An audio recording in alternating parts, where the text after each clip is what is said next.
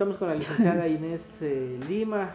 La licenciada pues conoce mucho de lo de la historia de San Pedro de la Bendita y es un honor para nosotros a través de la revista virtual Viva Catamayo poder dialogar por primera vez con la licenciada, pues ya habíamos tenido algunos de sus artículos que están publicados en la página web en www.vivacatamayo.org. Licenciada, buenas tardes, bienvenida a revista virtual. ¿Qué nos puede contar de San Pedro de la Bendita?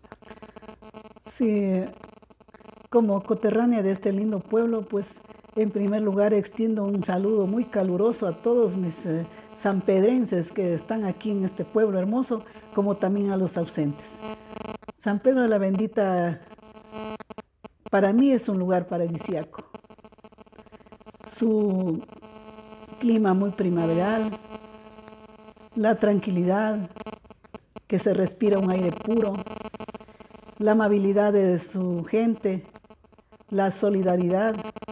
Eso ha motivado pues de que este lindo pueblo tenga un atractivo no solamente natural, sino también eh, un atractivo aspecto cultural. Es muy importante dar a conocer eh, las tradiciones y costumbres de un pueblo. Eso es eh, algo muy valioso en el aspecto cultural. Y es por eso que como moradora de aquí, de este pueblo, invito a, a todas las personas que nos visiten que aquí eh, encontrarán eh, la tranquilidad, la paz y, un aire muy, muy agradable que lo vamos a sentir. Eh, em, acá pues es la tierra de los amasijos, de los bizcochuelos, de los roscones. eso tiene alguna tradición de hace muchos años, ¿no? Incluso mm, decían pues a manera de folgorio que, los, los, roscones los hacían con huevos de pacás, por eso le dan los roscones muy grandes los bizcochuelos igual. Eh, ¿qué, nos puede contar ustedes de esa, parte? Sí, pues es este, una actividad muy importante aquí en nuestro pueblo, donde sus habitantes en verdad eh, la realizan para solventar sus gastos económicos, ¿no? Desde muchos años atrás, desde cuando yo era niña, pues eh, ya en el mes de agosto, cuando llega la Santísima Virgen, cuando hay la peregrinación al cisne, aquí todo el pueblo de San Pedro se, pone pues a trabajar, a realizar los amasijos, porque esa es una forma de vida para solventar sus gastos, ¿no? Entonces eh, los amasijos eh, es una, justamente una fuente principal de trabajo aquí en nuestro pueblo. Y eso también ha permitido también el, el desarrollo y la atracción también turística, porque el que menos también al paso se lleva sus bizcochuelitos, sus arepitas o tal vez sus roscones, ¿no? Con respecto de que no tengan duda de que son exclusivamente de huevos de gallina, ¿no? Antiguamente pues se decía de que eran huevos de pacaso, ¿no? Pero aquí en San Pedro, en mi tierra, no, hasta ahora yo que he vivido ya muchos años aquí no conozco un pacaso aquí. Siempre he ido pues eh, a Catamayo, al río Boquerón, al río Guayabal, en otros ríos. Ahí sí he visto pacazos, pero aquí exclusivamente son los amasijos de huevos de gallina, ¿sí? Muy bien, licenciada. Qué bueno esta aclaración porque aparte también pues, como que se convierte en un mito ya del argor popular. Además de los amasijos, ¿qué, lugares puede visitar alguna persona que venga a San Pedro de la Bendita? Aquí pues en San Pedro de la Bendita hay eh, los lugares eh, aquí en lo que se refiere a al lugar turístico que hay últimamente, las piscinas, ¿no? Piscinas que últimamente están eh, al servicio del público, donde hay una buena atención, inclusive alimentación, hay Sí, para hacer juegos también eh, recreativos, eh, físicos también tienen ahí sus máquinas para hacer o jugar alguna cartas, ¿no? Sí. Un espacio recreativo ya. las comidas típicas, eh, en lo que entramos a, este lugar, pues en, frente al parque también se ven algunos letreros que venden humas, que venden tamales, incluso los tamales de guineo. Ah, sí. En verdad aquí las personas de San Pedro la Bendita nos identificamos porque somos muy trabajadoras. Si no es de una manera o es de otra, pero buscamos la vida. Decentemente, ¿no? Entonces hay muchas personas que también hacen son unos ricos tamales de guineo, ¿no? Eh, lo mismo de maíz, eh, tanto como de chancho como de, de, gallina, ¿no? Y asimismo también hacen las humitas, ¿no? Entonces hay una buena venta también que ya creo que a nivel aquí de Cantón, a nivel de algunas eh, ciudades también al paso ya llevan las humitas y los tamales, ¿no? Hechos de una forma pues que le dan un sabor diferente, ¿no? En forma casera, pues propiamente que se dice, en forma natural realizan estos, estos alimentos, ¿no? Eh, cuenta, licenciada, que cuenta la historia, ¿no? De que San Pedro a inicios era en otro lugar. Y, el lugar me parece que se llama Pueblo Viejo, usted nos puede dar fe de aquello. ¿Qué, qué tiempo hay desde, desde San Pedro actual hasta ese lugar? ¿Hay un camino de pronto? ¿Hay algún senderismo? ¿Hay alguna historia que nos pueda contar de ese lugar?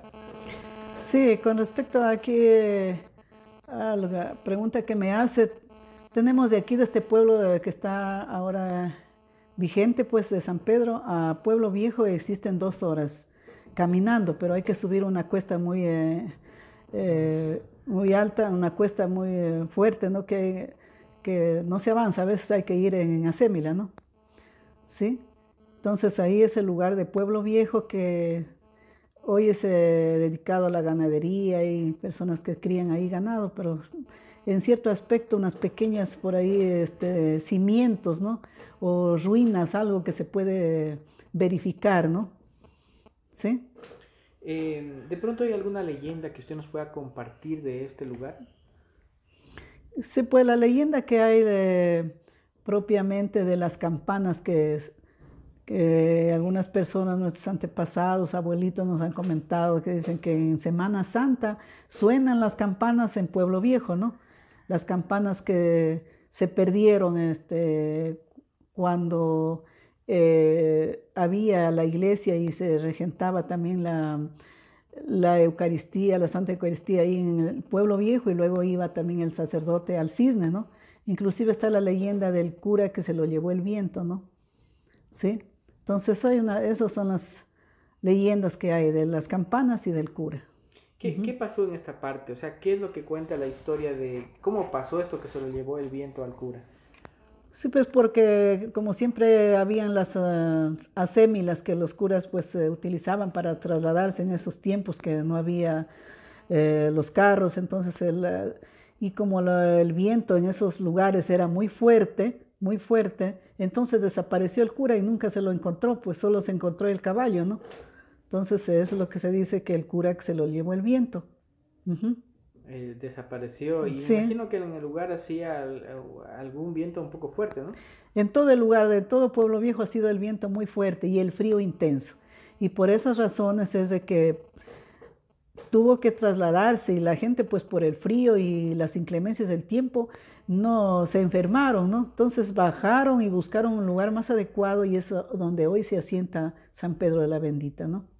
Otro, otro de, de, las cosas interesantes de San Pedro de la Bendita cuentan de que hubo un personaje que en aquel tiempo él ya producía energía de manera eh, artesanal, eh, también fabricaba saquillos. Cuéntenos un poquito de aquello. Así, ah, tenemos aquí en San Pedro la Bendita un personaje muy ilustre, puedo decir, ¿no? Porque nosotros como moradores de este pueblo, en verdad, y yo, he admirado al señor Ramón Ojeda, ¿sí?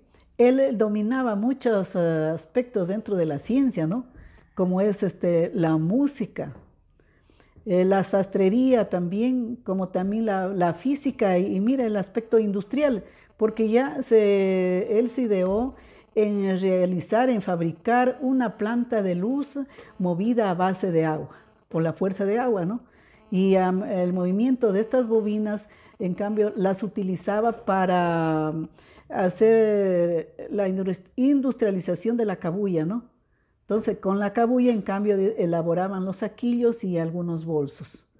Entonces, es una persona, como le digo, para mí muy importante que ha tenido San Pedro y eso ha sido motivo para que muchas personas también sigan sus pasos, sigan ese ejemplo de trabajo, ¿no? Inclusive dentro de la música. Él es eh, propiamente la persona que dio el inicio en el campo musical a este pueblo y luego la creación de el grupo de músicos Los Riseñores, ¿no? ¿Ya? En aquella época. es, es, importante pues conocer toda esta situación, ¿no? Em, este personaje también pues eh, de pronto usted lo conoció, vivió de pronto, usted cuando era niña de pronto lo conoció o vivió antes en una generación anterior. No, yo sí tuve la suerte de conocerlo, ¿sí? Yo cuando estaba en la escuela, San Vicente Ferrer, ahí era una escuela religiosa, entonces el señor eh, Ramón Ojeda, él eh, era cantor de las misas eh, en las fiestas religiosas o en cualquier época, ¿no? Entonces él tocaba el piano muy bien y nos... Yo también era, formaba parte del coro de ahí de la, de la iglesia, entonces él tocaba el piano y nosotros cantábamos, ¿no? Un grupo de, señoritas, de niñas que hacíamos el coro, ¿no? Entonces yo tuve la suerte de conocerlo y también lo conocí pues eh, a él con su esposa, la señora Mercedes, ¿no?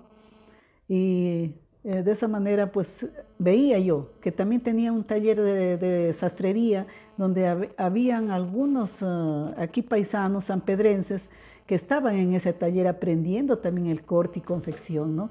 Como es en el caso de don José Paltín, que también pasaba él ahí ayudando y también aprendiendo la sastrería. Sí. Él, era el sastre del lugar, él era el científico del, de tiempo. Cuando usted era niña, eh, ¿ya había la luz eléctrica o aún eran los mecheros? Cuando yo era, este, tenía tal vez unos 5 o 6 años, todavía utilizamos las lámparas de Kerex, ¿no? Lamparitas de Kerex, ¿no?